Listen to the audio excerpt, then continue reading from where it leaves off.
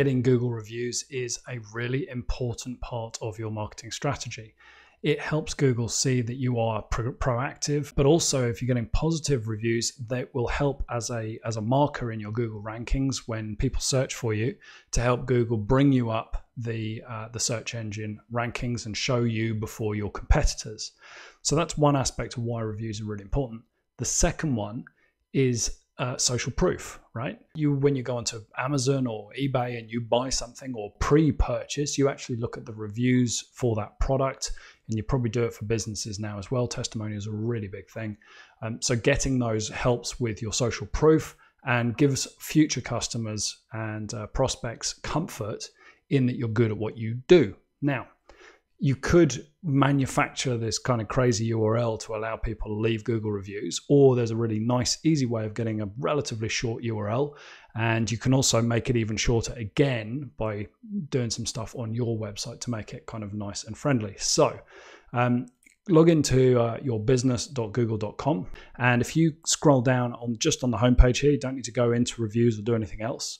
You'll see that you kind of got your latest reviews box. And uh, thanks very much matt. Very kind review appreciate it uh, we'll reply to that one in a sec um, but actually what i'm going to do is skip past this past manage reviews and i'm going to go to this get more reviews box and there's a button that says share review form. Now, this gives you a nice little uh, URL that you can copy and you can take that straight into an email. So, here's an email that I've got. I'm going to just paste that in, all right, and then I've got my uh, email there ready to go. Uh, now, if you want to just kind of efficiency hack this a little bit more, you can also then go to templates and you can say save draft as a template, save as a new template, and you can say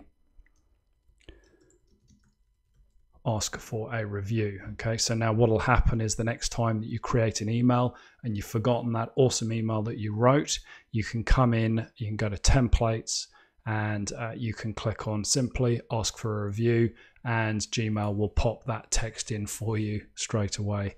All right, let me just do that again so you can see it. Templates, ask for review, and bang, there it is. Okay, so nice quick way of uh, being able to make a link that's A, not scary for your users, but B, also set it up in a way that it makes it really easy for you to just hit reply and resend every time.